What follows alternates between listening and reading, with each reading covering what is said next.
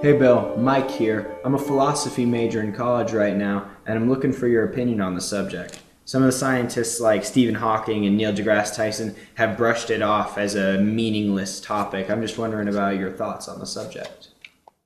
Mike, Mike, uh, this is a great question. I'm not sure that Neil deGrasse Tyson and Richard Dawkins, two guys I'm very well acquainted with, have declared philosophy as irrelevant and blown it off in your term. I think that they're just concerned that it doesn't always give an answer that's surprising.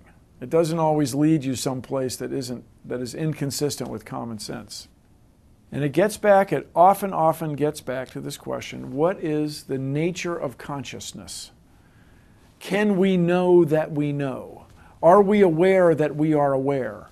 Are we not aware that we are aware? Is reality real or is reality not real? And we are all living on a ping pong ball that's part of a giant um, uh, interplanetary ping pong game that we cannot sense it. These are interesting questions.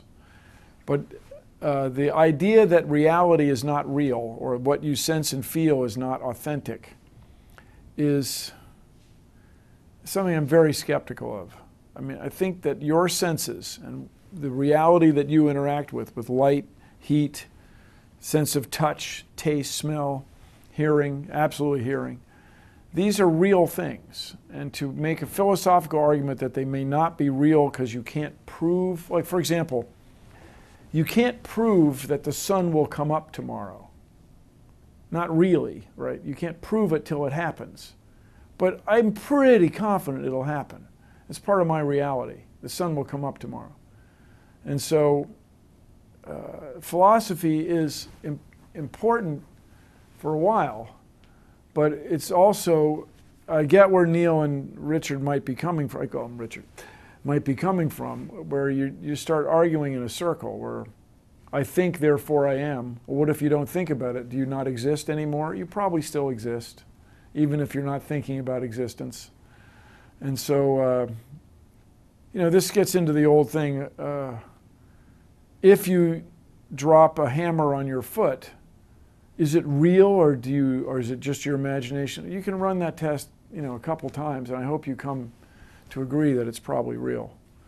It's a cool question. I um, it's important, I think, for a lot of people to be aware of philosophy, but it, it, just keep in mind if you're spending all this money on college, and this also may be where Neil and Richard are coming from.